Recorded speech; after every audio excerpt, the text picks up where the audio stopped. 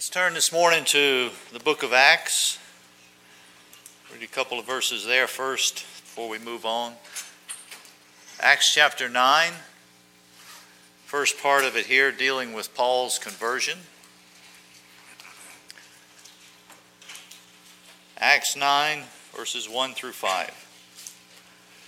Now Saul, still breathing threats and murder against the disciples of the Lord, went to the high priest and asked for letters from him to the synagogues at Damascus, so that if he found any belonging to the way, both men and women, he might bring them bound to Jerusalem.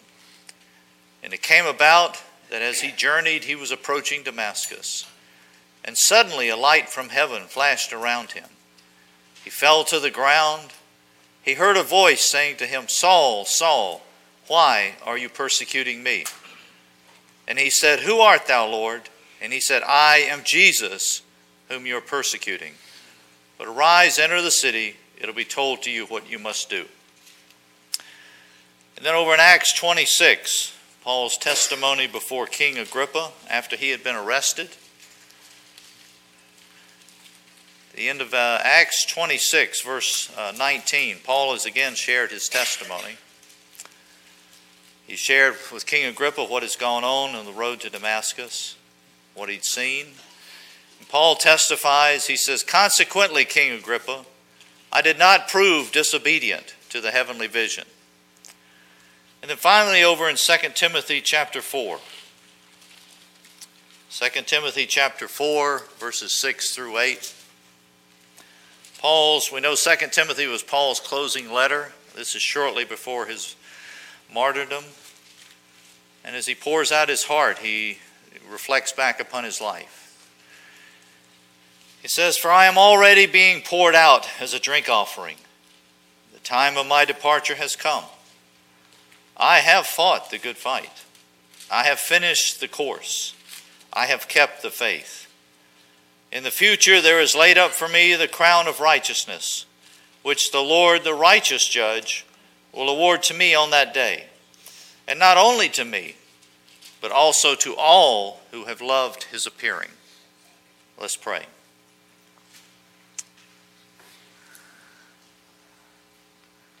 Lord, we're so blessed to be able to gather this day. We're thankful, Lord, you have prepared a table before us. And Lord, as our hearts draw near to that table, there's a vastness to it that we touch every time. And we see a little more of you, a little more of thy greatness. And Lord, it's the same way as we come to your word. Whether we're new to your word, whether we've been in it for many years, it seems like whenever we come to your word in a, in a new way, there's a freshness to it. There's, we see another aspect of your life. And Lord, today we would come as those hungering and thirsting after you. And we're thankful, Lord, that you have made the provision of the Holy Spirit. And we pray your Spirit would have a great freedom in all of our lives today, Lord. We're not here, as we often say, to gain knowledge, but we're here to have an encounter with you. We want to see the living word. We want the life of Christ to impact our hearts and our lives. So we offer ourselves to you this morning that you would have a great freedom, a liberty in each one of us, Lord. Your wonderful name. Amen. Last October, I was asked to share a, a message at Harvey Cedars on redeeming the time as seen in the life of Paul. And during that time, uh, as I looked at it, I saw three aspects that impacted Paul. And the more I considered it, I saw that it was really far beyond just this limited thing of redeeming the time and how it was some governing lessons within Paul's life. So, what I'm desiring to do by the grace of God is to take that one message, expand it into three. Now, sometimes that can terrify people. but by His grace, uh, we want to be looking at it a little bit differently uh, this time, considering three points. And you know, as we read these verses, particularly in Acts chapter 9, you know, Paul had that dramatic experience. And we have to ask the question because we're familiar with Paul's life before he was saved. Now, I'm not going to get into the calling him Saul and Paul. He's always Paul this morning, okay? Uh, I'll get confused if I try to do that.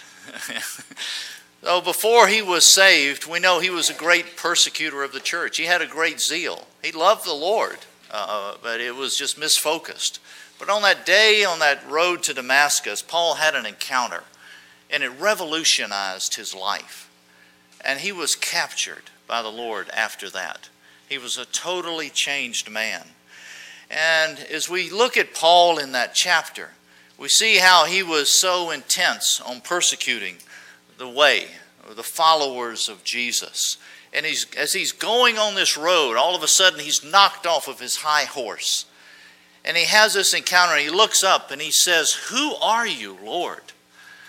And in an amazing way, as you look back in Acts chapter 9, Paul got the answer that totally revolutionized his life.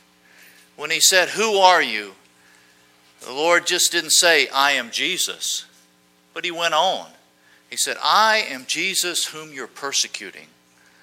And Paul was in a moment of perplexity. He said, Wow, he said, You're Jesus. he said, But I'm not persecuting you. I'm the ones that are following you. But by the grace of God, Paul at that moment saw that when he touched the living God, he touched when as he touched Christ, he saw there was something more. As he touched the followers of Christ, he saw he was actually touching Christ. And when Paul talks about this heavenly vision in Acts 26, we've got to be really clear on what that is. Paul didn't encounter a teaching. Paul didn't encounter a truth. When Paul's speaking of a heavenly vision, he's not speaking of a what or a thing, he's speaking of a person. Paul saw Christ. And that's what Paul saw. Sometimes we can have a tendency to make this heavenly vision so complicated. I'm sorry, it's simple. He saw Christ. it revolutionized his life, and that's all we need. I could sit down now. because all we need is to have an encounter with Christ. You know, Paul had this encounter. He was going the opposite way, he was actually working against the Lord. But when he saw the living God and it captured his heart, it totally transformed his life. And he put Paul, because Paul saw that it was more than just Christ. He saw that there was this body, that there were his, these believers, these followers, and what Paul saw was that there was a oneness there. And one of the tragedies and the traps that we fall into is that we separate Christ from the church. We can separate Christ from the heavenly vision. Christ is the church. for, for, just for our reference, look over in 1 Corinthians 12. Again, these are familiar. Most of the verses we'll be reading today are familiar verses. But if we look at 1 Corinthians 12 12, as Paul in this chapter, he's talking about the body of Christ. He's talking about the functioning of the church. If we look at 1 Corinthians 12 12, for even as the body is one and yet has many members, and all the members of the body, though they are many, are one body, so also is Christ. We normally would think that that would say the church or the body but it's Christ because Christ is the church. And we've, we're in Christ and Christ is in us, and there's a oneness there. When these get separated, then you get into cults. If you look at the church without Christ in it, you've only got a cult. You've got a deception. And if you don't see Christ with the fullness of Him and all His body and all that, that we're all one in Him, there's just an individual wandering around in the desert. But the Lord, when Paul saw on this day, he saw one life. He saw the life of Christ, and it revolutionized him. And throughout his life, what he saw there of Christ and his body, Christ and the church. I'm hesitant on even using the word church today because we can separate it automatically. When we're saying church, we're speaking of that fullness of Christ as the head and his life within it. This is what Paul saw. And throughout his life, the more he had experienced Christ, that revelation of, of, Christ that he had seen, it simply became fuller and fuller. There became a height to it, a depth to it. There was a length, there was a breadth. And he got to those times he couldn't describe the fullness of Christ because there was a richness there. This is what revolutionized Paul's life. This was the heavenly vision that he had. Not a concept, not a teaching, not a doctrine, but a person. And in these last days, we need to come back to that person. This is what the Lord is jealous for. He's jealous for the life of his son to be expressed and seen among the very people that he has loved, the very people that he purchased as we remembered him at this table today.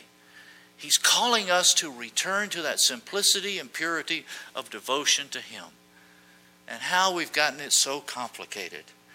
Now, we can, as I'm saying, we, we can't, it's one life that we live. We live the life of Christ. Now, oftentimes, we talk about, oh, I have a, a, church life, I've got a corporate life, I've got an individual life, I've got a work life, I've got a social. In many ways, that there's, there's an aspect of that that's true, but it's actually false. There's one life that we live. Whether we're at work, whether we're at home, whether we're at school, we're still part of the body of Christ. We're still part of the church. Now, when we gather together, there's an expression of that life together of the oneness that we have in Him. But we're, we're always part of the, His body, always part of the church. And so we can distinguish aspect, various aspects of our life. But let's not fall into the trap of thinking, oh, I have an individual life and then I've got a corporate life. I've got an individual life and a church life. It's one life. and He's called us to that life. And this is what Paul lived. Paul lived one life, and it got manifested many different ways in many different expressions. And so we're, we're looking, we're jealous that his that one life could be lived out through us. Because after this event, Paul was a captured man. He was no longer living for himself, but he was living for him who loved him and died for him, rose again. Paul was captured by this. That's why Paul would sing this song Jesus, Lord, I'm captured by thy beauty. Paul had that encounter on the road to Damascus. He was captured by the beauty of the Lord. And all through his life, he would testify of that, of who the Lord is and the greatness of who the Lord is. He saw that Christ's heart was to be all in all. He saw that there was this desire within the Lord that each one of us would be conformed to the image of Christ.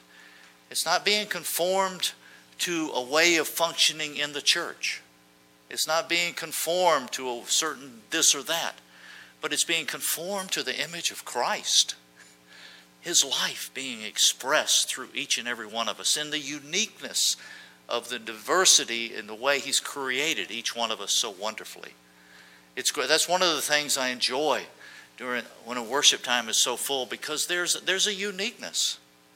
There's a breadth of the many wonderful ways that God expresses his life through us. And it's essential, as I said, we talk a lot about being in these last days. And it's essential in these last days that this reality uh, be recovered. A reality that goes far beyond just the truth or doctrine of the church, far beyond just talking about the church, far beyond just talking about church life or this or that, but a reality of his life being expressed. It's vital to know his the jealousy that he has for his life to be expressed among the people of God. And it's vital to know how precious this life, as expressed through the church, is to him.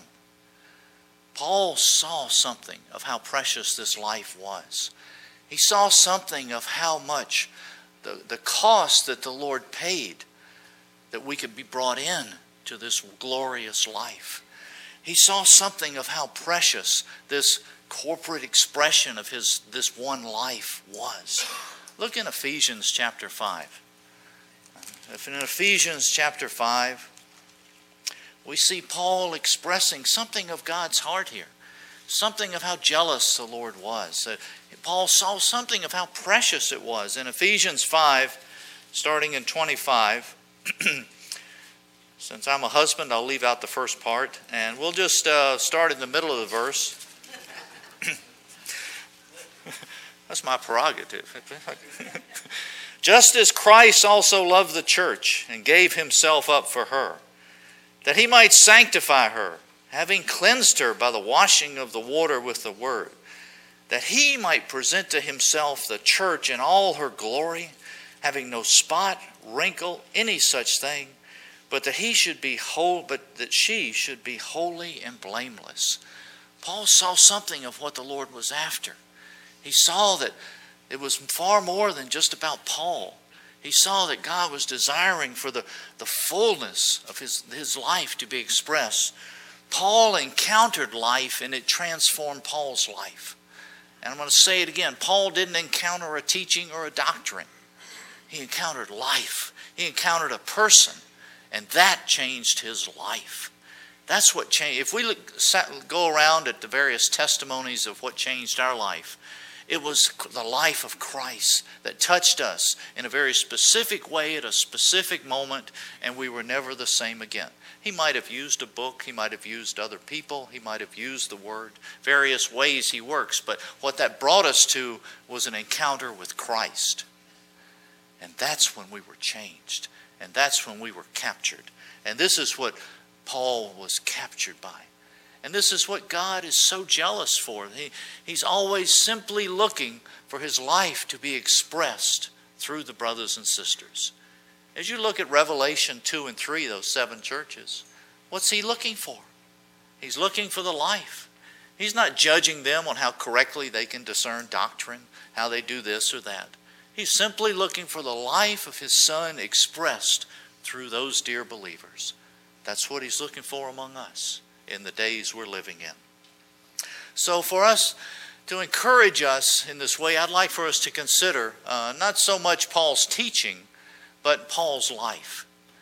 And really, as we look at him, actually, his life is his teaching. There's a testimony there because his Paul's teaching it came out of life. Where did where did Paul all that Paul shared when Paul said, you know, I'll be a fool for Christ. That's because he had experienced being a fool for Christ. His, what he shared came out of his experience with the Lord. And his life reflected his teaching. His teaching and his life, there was synonymous. They were the same. There was a oneness there, and his life validated what he shared. There wasn't this separation, there wasn't a contrast. But there was, we see this together. And we said that Paul was a captured man on that road to Damascus, he was captured. And he, Paul shares a wonderful testimony of how this impacted his life in Philippians chapter 3. If we look at Philippians 3, we see much of, uh, actually, much in Philippians, there's a lot of Paul's testimony here. but in Philippians 3, starting in verse 4, we see how Paul is testifying here of the great encounter that he had with the Lord and how it totally transformed him. Philippians 3, starting in 4, he says, Although I myself might have confidence even in the flesh, if anyone else has a mind to put confidence in the flesh, I far more. And actually, those words still ring true today. Paul had far more going for him than most of us have. Paul, in many ways, had the whole world before him, and we'll touch on that in a minute. But once he saw the Lord, all that he had, everything that he that was precious to him, all that was of great value according to the world's standards, the prestige, the status, totally changed. And he shares about this. On verse, continuing in verse 5, he shares something of his Jewish heritage. Circumcised on the eighth day, of the nation of Israel, of the tribe of Benjamin, a Hebrew of Hebrews, as to the law, a Pharisee, as to zeal, a persecutor of the church, as to the righteousness which is in the law, found blameless. But whatever things were gained to me, those things I have counted loss, and for the sake of Christ. And more than that, I count all things to be loss in view of the surpassing value of knowing Christ Jesus my Lord, for whom I have suffered the loss of all things, and count them but rubbish, in order that I may gain Christ. Paul, at this point, he was captured. He once desired and was seeking all the things of the world, not only the secular world, but the religious world. And he had far more attributes and success than many of his peers. As you look around at Paul, this, if we stop and think about him, in the days he was living in, there was three main influences in the world. There was the Greek society, there was the Roman uh, Empire, and there was the Jewish religion. These were the three main forces during this day and time. And if you look at those, Paul had all three of them. As to the Greek culture, he was born in Tarsus. So he was brought up and had the Greek education and culture. And we, it's an amazing thing that Many cultures come and go, but we can actually still see today the evidence of the Greek culture and the influence on education in life today. I'm not talking about the ruins in Athens. I'm talking about the influence it has among society today. That's the power of that culture. That humanistic, it's called humanism today, but the, the power and how it's, it's, it's continued on. And Paul had all of that right before him. He was also born a Roman citizen. We know how valuable it was to be a, a, Roman citizen, that some even paid for it. But Paul was born into it, and this gave him a legal privilege. It gave him a status in society, that he was just a, a layer above many others who were part of this empire, because he was born a Roman. So at, at times we see him exercising those rights as a Roman citizen, other times he doesn't. But we see when, as led by the Spirit, he, he uses those. He had this right at his grasp. And then, as far as his religious heritage as a Jew, he had one of the, the highest heritages, heritages of any because he was you can see that he was his family was a very practicing Jew. He was circumcised on the eighth day. He was a Hebrew of Hebrews. He wasn't a Hellenist. We could say that Paul was a thoroughbred. He, a Hellenist is kind of a mixture. But he was Paul was a thoroughbred. He was a Hebrew of Hebrews. And even he, he had kept his identity. Many by this time had lost it, but he knew he was of the tribe of Benjamin. And he was his family was so committed to the Jewish tradition that they named of the tribe of Benjamin, they named him after the most famous person within this tribe, Saul. Wow. You know, he had a, what a heritage he had. He studied under Gamaliel. He had the best Jewish education going. He was a Pharisee, and it's for the zeal he was a persecutor. Paul had all this going. Paul was a man of his time, he was a man of his age. And many historians say that probably Paul, if he had not have been captured by the Lord, we would be reading about him in the history books. He was so powerful at this time. But once he encountered the Lord, there was a great transformation and he was totally totally changed. Paul literally was in a place to gain the whole world. Most of we're not in that place. we could gain a little bit here, a little bit there, but uh, even these little bits become so powerful to us. But Paul, once he saw Christ, once he saw the person of Christ, all of that became as nothing to him. Paul was he was a great specimen of mankind.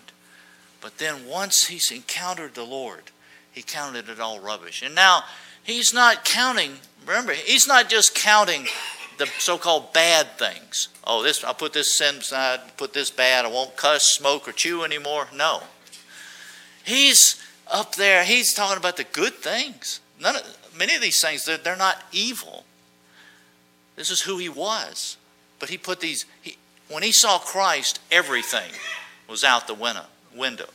Because sometimes in our lives, good becomes the enemy of better.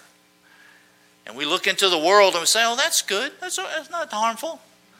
But there's, a, there's something better. There's Christ. And this is what was captured Paul. And so the question we have to ask ourselves in our hearts and our lives have we had this encounter with the Lord? Have we really come to that place of having this personal encounter with Him, that we, as we look upon the things that we value, have we counted them all rubbish? And I love verse 5 as you look back at Philippians 3, because I believe Paul and the Holy Spirit, he puts in some extra words just so that there are no loopholes for us. He says at the beginning of verse, I'm sorry, chapter 3, verse 8, he says, More than that, he says, I count all things, not most things, not some things. I count all things to be lost in view of the surpassing value of knowing, having that intimate personal relationship with the Lord. For whom I have suffered the loss of all things. He, he admitted, he said, I suffered the loss. He's not trying to paint a rosy picture. He said, It cost me something. These things were of value to me. But when I saw Christ, I was willing to suffer the loss of them. You know, sometimes we think, oh, you see the Lord, oh, it just goes away. No, there's a process within us. There can be a suffering because that meant something to you. and but all of a sudden you see something better. And, and you're, you're, you're transitioning out of that into the Lord. This is what Paul says. He said, and he counts them all but, but rubbish in order that I may gain Christ. That's a perspective there. The things that were at the top are already at the bottom. He's cleaned house, he's had a spring cleaning, and he's come in and he's, he's a whole new perspective on life. You know, the things that we value in the world, well, how are we handling them today? Whether it's our career, whether it's our education, our, our prestige at work, uh, whether it's sports, whether it's entertainment, it can go on and on. Have, has it been counted rubbish to us? Or do we still say, Lord, I, I love you, but this is still nice? I, Stella and I, we, we read through the scriptures every year. Uh, and so we started back at Genesis. And, we were reading the story of Abraham and Lot.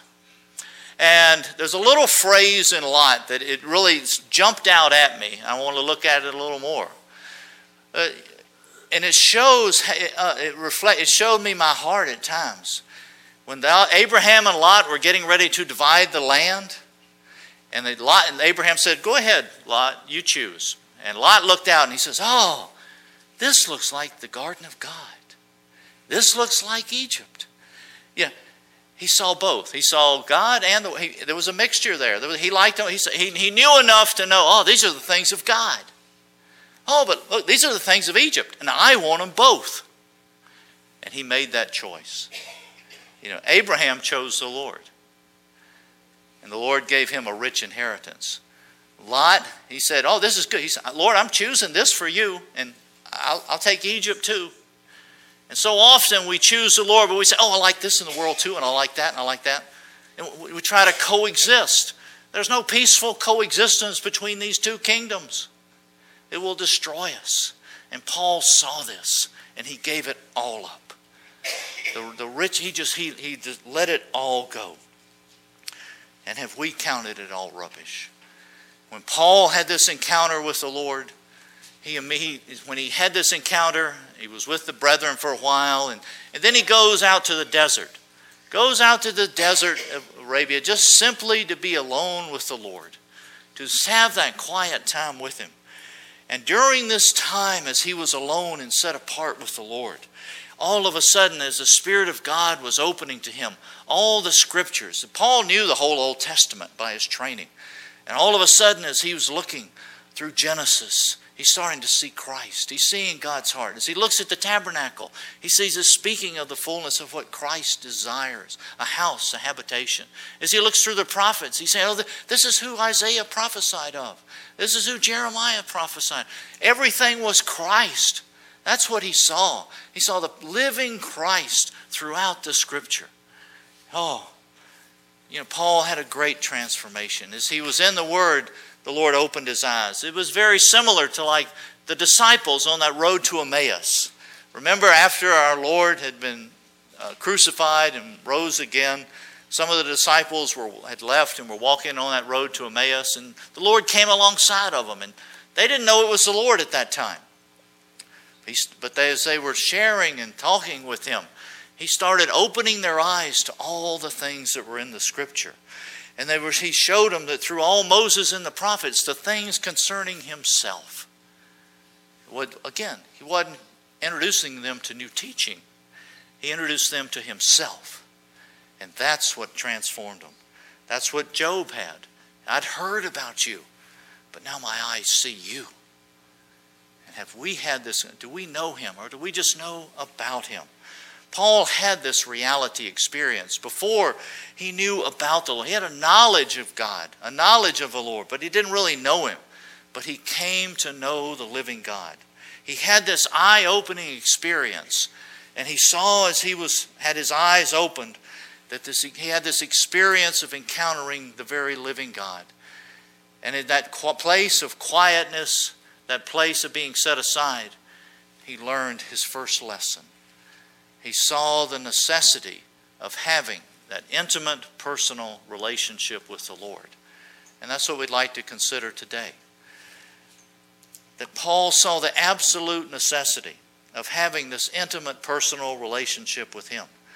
Lord willing, the, the next couple of weeks we'll look at the other two lessons. Uh, we'll look at the intimate relationship today. Next week we'll look at Paul had this insatiable desire for the Lord.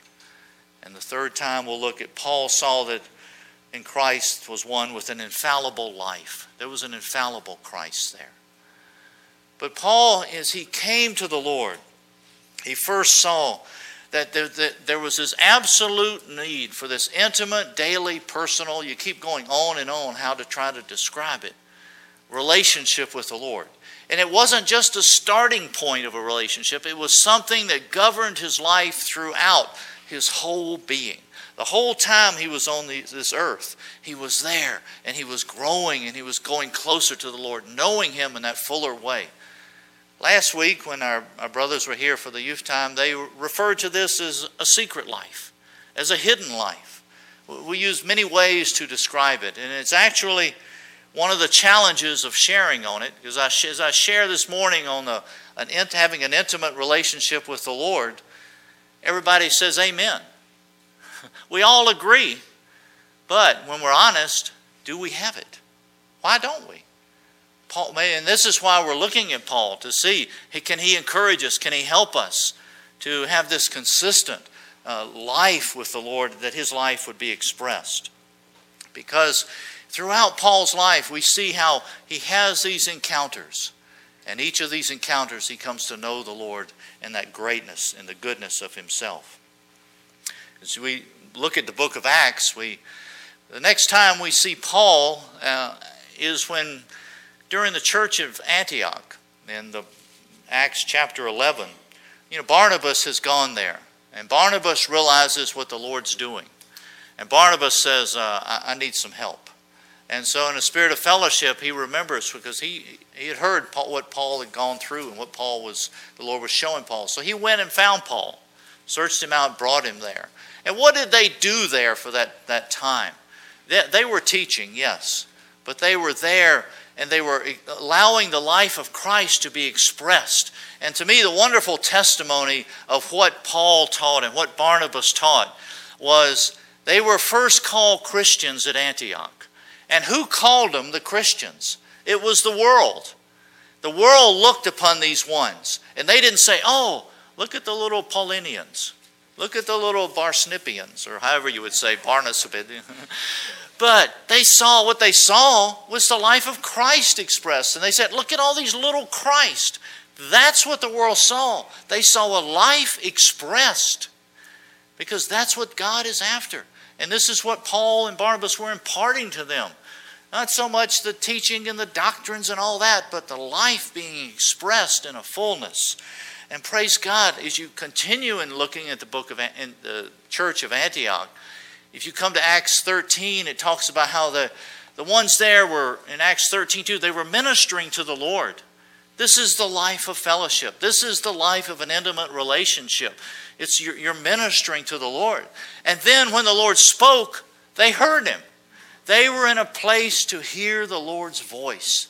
They weren't so distracted. They weren't occupied with other things.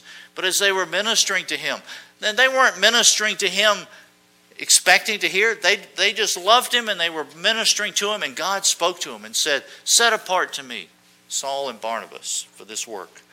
They knew him, they knew his voice.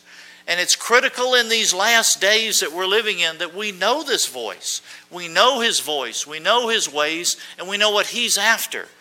Because if we don't know his voice, there's enough warnings in the scriptures about the last days that uh, a couple of things will happen. If we don't know his voice, if we don't know his ways, we'll miss him. We can be led astray by false prophets, false teachers, or we'll miss him because he moves this way and we have a concept wait a minute you don't god doesn't work like that.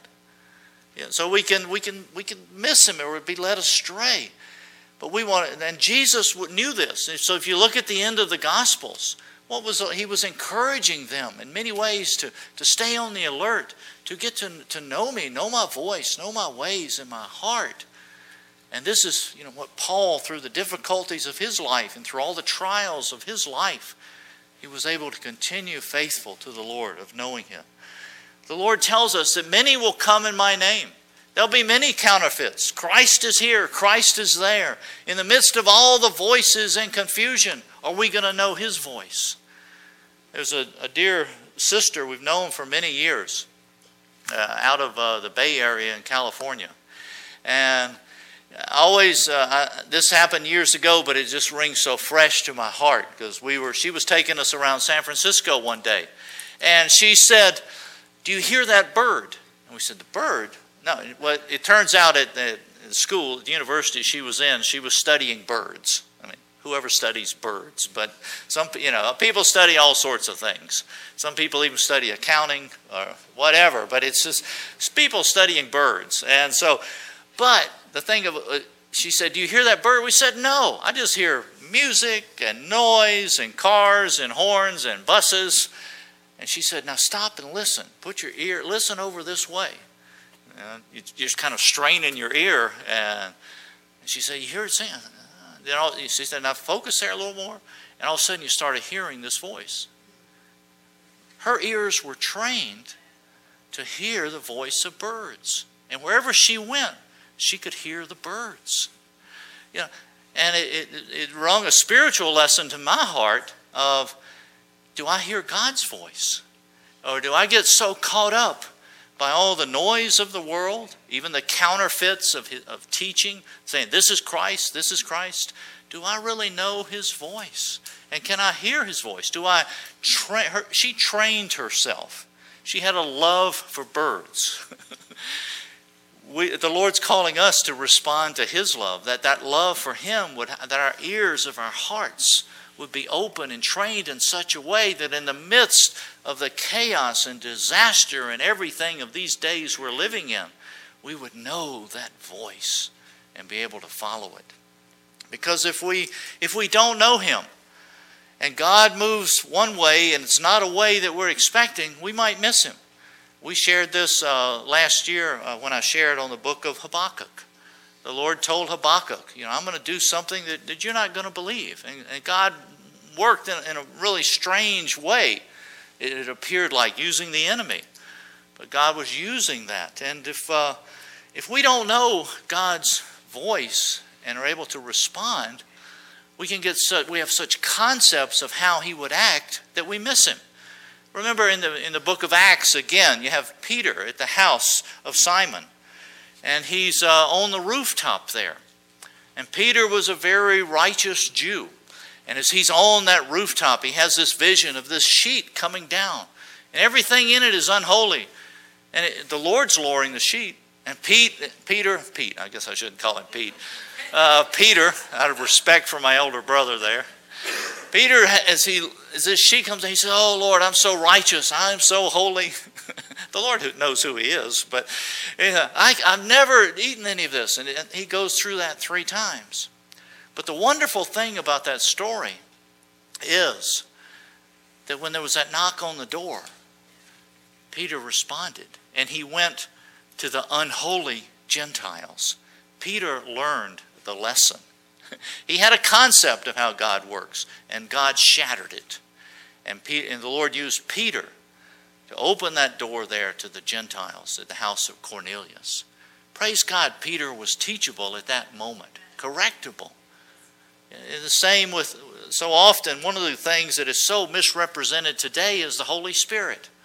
There's so many thoughts and theories and opinions and everything on the Holy Spirit, and we try to, it, we, our definitions end up narrowing and limiting the Spirit. But I always think back on Elijah, how when he was on that in that cave, how when the Lord was speaking to him and the wind came by and the fire and the earthquake, and the Lord says, I'm not in any of that. I'm that still small voice. So there are times when the Lord is a still small voice. But I don't think we need to take that story and apply it universally. There are times when there was a great wind, like on the day of Pentecost, and that was the Holy Spirit. There are times when the Lord is like a mighty wind. There's a times when the Lord is like that mighty fire.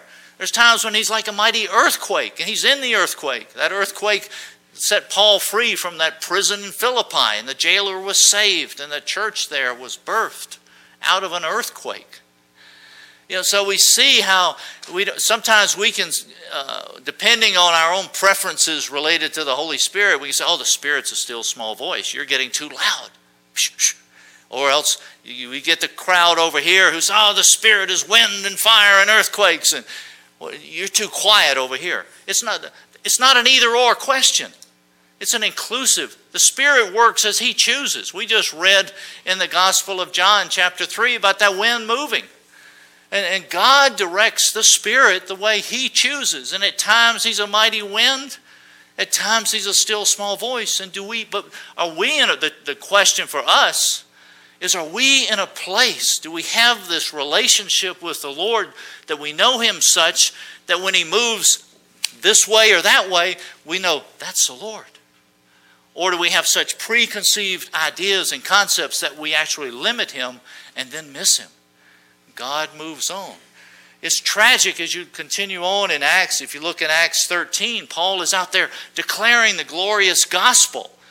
But they're one, he's telling of the death and resurrection of our Lord and uh, sharing the gospel in a glorious way. But many of the Jews there, they have such a concept of the Lord that they don't, they're not, they're not open and they reject the very word of God. Look at Acts 13, uh, 27. In Acts 13 27, it, it speaks of those who, who they didn't respond to the Lord in life. 1327 For those who live in Jerusalem and their rulers, recognizing neither him, that's Christ, nor the utterances of the prophets, which are read every Sabbath, actually fulfill those condemning him. You know, they had the, pro- they had the Word of God presented to them every week. They had the prophets speaking to them, and Christ was there in their midst. And yet they didn't see him because they had such a religious concept of this is the way God works. And we can unconsciously develop those concepts and totally miss the Lord. This is why Paul, as, he, as we look at his life, we see he had this such intimate personal relationship with the Lord that he would he knew his voice. When the lord said go here he went there. When the lord said no paul i don't want you to preach right now which sounds strange. I, we would think the lord would want paul to preach all the time. But we know there was a time the lord said he said the holy spirit told me don't preach here. Don't preach there. That sounds strange. But paul he knew the lord in such a way that he just he obeyed and he kept going. Do we know the lord in such a way like that is the Lord, has He captured us like He captured Paul? And this is what you know the Lord is after. Because just as these heard that scriptures read every Sabbath, brethren, we've had the scriptures shared with us a whole bunch. Every Lord's Day, every conference, many retreats, over and over again, we have had the Word of God profusely poured forth within our midst over these years. And do we, but do we know the living Word of God? Do we know that person? We can hear it every day, every conference. This is why it is so vital in the last days that we know this.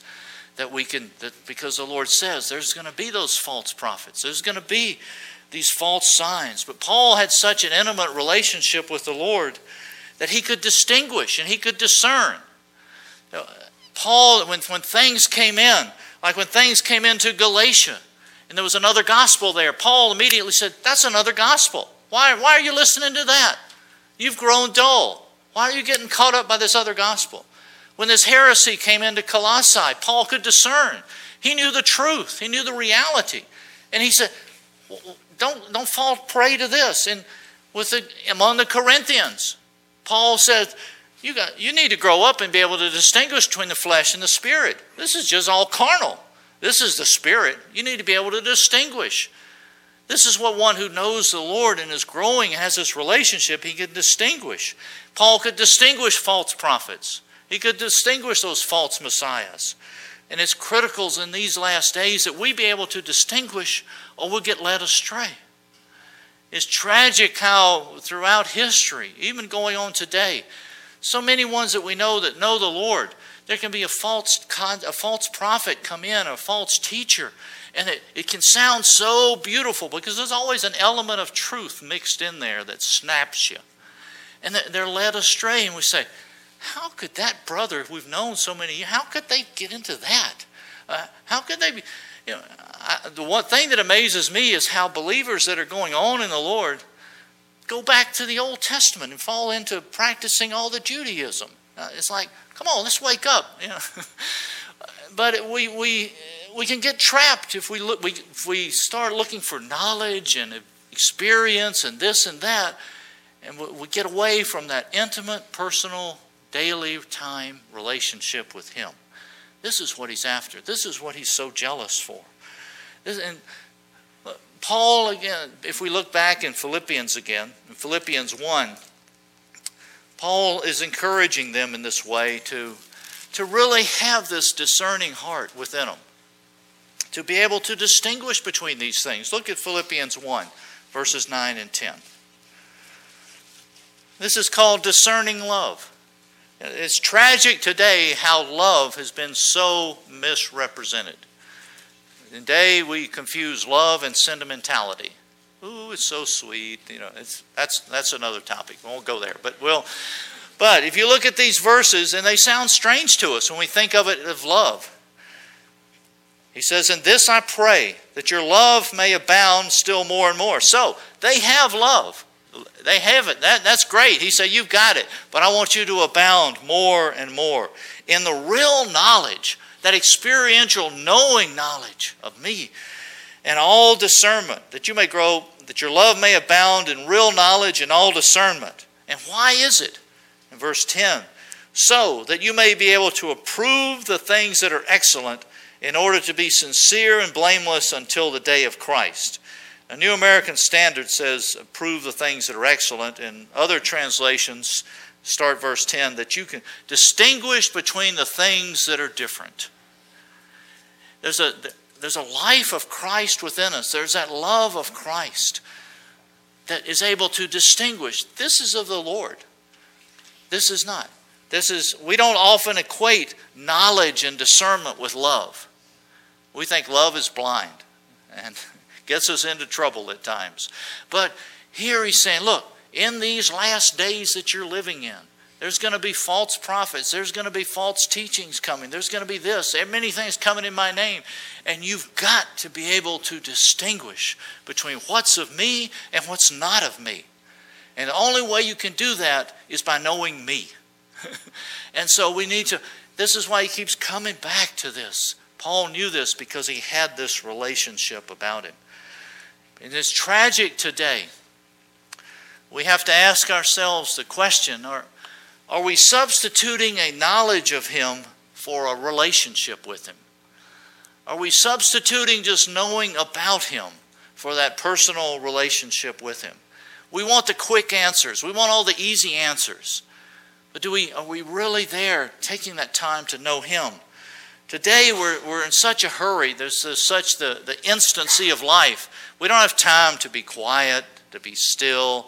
We got there's so many distractions. We even we try to have our quiet time, and our, our cell phone beeps, and we say, "Excuse me, Lord, I need to answer this text." You know, we can't even put our cell phones aside during the quiet time, and it's just there's so many distractions. But the Lord is wanting us to to really come into this place of knowing Him and being quiet before Him. And as we as we do this, we there's, there's a life that He's wanting to form within us. what happens in these days where we, we're substituting knowledge of Him for a relationship with Him is so often we hear, well, I read this. Brother so and so says this. So and so says this, or so and so says that. And when people share, it's like you're getting a book report. Uh, we're not here to get book reports. We're here to hear what Christ is and who, what, what's He speaking to us. And, you know, we're thankful for the great heritage we have. Uh, a richness in the heritage. But are we, what are we passing on? Is it, has it become reality to us, or is it just secondhand food? Oh, I read this, this might be good for you. Is it, is it really entered into our hearts, become real to us? Have we chewed upon it and then passing it on in life? So it's so easy just to pass on knowledge. We can let knowledge go. And in Daniel, one of the characteristics of the last days, Daniel says, and knowledge will increase. And we see that going on. And what happens is we as believers, we're substituting this great knowledge. There's such a heritage we have. Will you go out to the books here? I'll do an advertisement for a few minutes here. And pick up any of those great books out there, which are a wonderful price and you should help buy them. But they, they, there's a richness there, and we feed upon it. But it's stimulating us. The object is to bring us to Christ in a fuller way. And, and would we get help us to get through this and uh, able to really come into entering this in a, in a wonderful way? You know, the Lord, when He was upon earth, He encountered this. Look, look back over at the Sermon on the Mount. In a minute, we'll uh, look at Matthew chapter 5. There's two little phrases that are used throughout this chapter, and they're a great contrast. The Lord is sharing often through Matthew 5 the, the teachings of from God of the Old Testament. If you look at in the two phrases I want to contrast is in like verse 21 and 22. 21 starts off says, "You have heard," and then it talks about not committing murder. But what does 22 start with? But I say to you. You've heard, but I say to you. 27. You've heard. 28. But I say to you. 33. Again, you've heard, but I say to you. Down at 38. You've heard, but I say to you. And it goes on in 43. You've heard, but I say to you. And we've heard much, but God is saying to us. What's He speaking to us? That's what He's after in these last days. Hearing His voice, knowing His voice, entering into this personal, intimate relationship with Him that we can make it through to the end and not be uh, distracted, not be knocked out of the race, but not relying upon others to feed us, but allowing the Lord to feed us every day, day in and day out. This is why it's so essential to, to draw apart unto Him.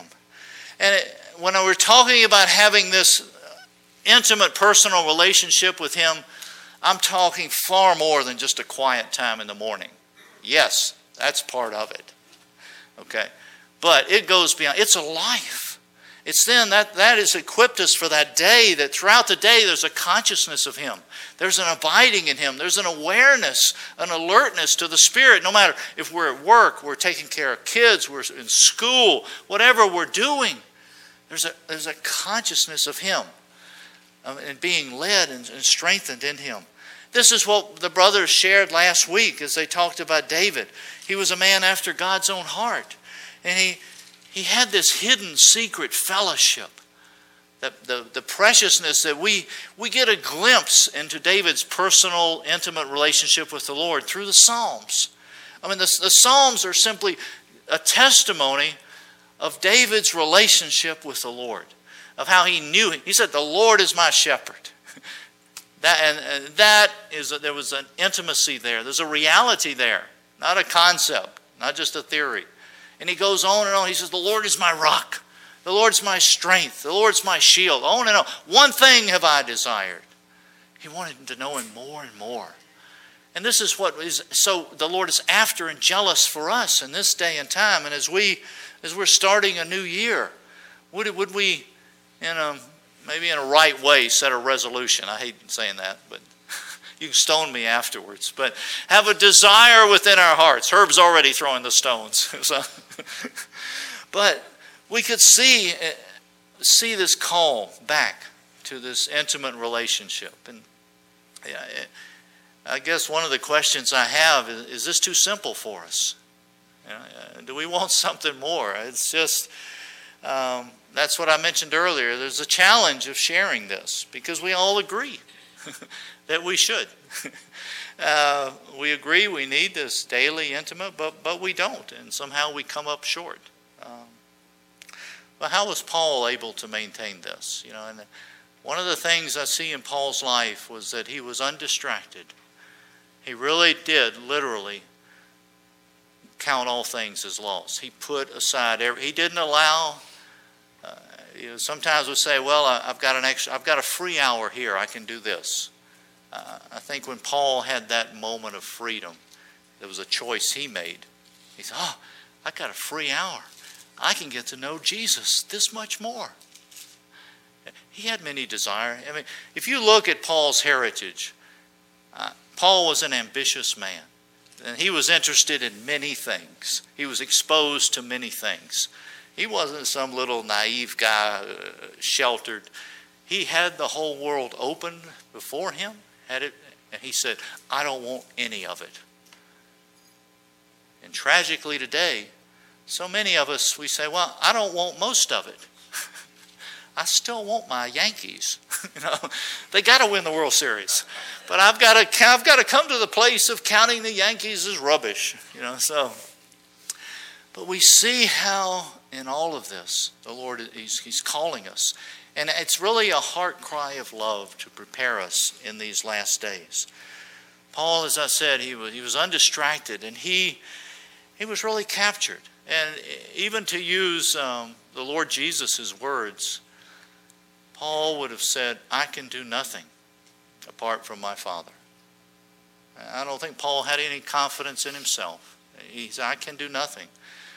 And as Paul writes about Romans 12 of being that daily living sacrifice, again, that wasn't a teaching of Paul. That was his experience of life. Every day he was offering himself as a free will offering to the Lord. Lord, today I'm offering myself to you to be conformed to your image.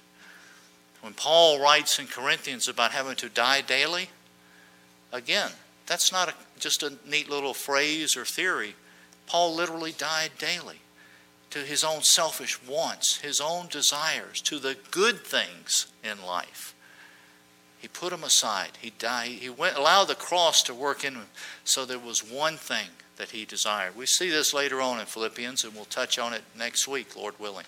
But Paul, there was one thing that Paul was jealous for. He was pressing on to know Christ in a fuller and greater way. And out of this, as being this captured, out of this intimate relationship, it created within Paul this insatiable desire for Christ. And that's what we'll look at next week.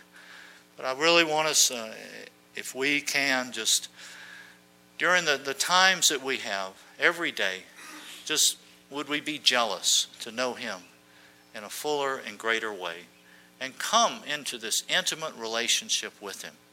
He's called us. We see that this table is a very intimate time. We share it with many. And so we see what He's calling us to, not just to know about Him, but to really know Him. This is what prepares us to be able to finish the race and continue on and to hasten His return. So let's we'll stop here for today and let's pray.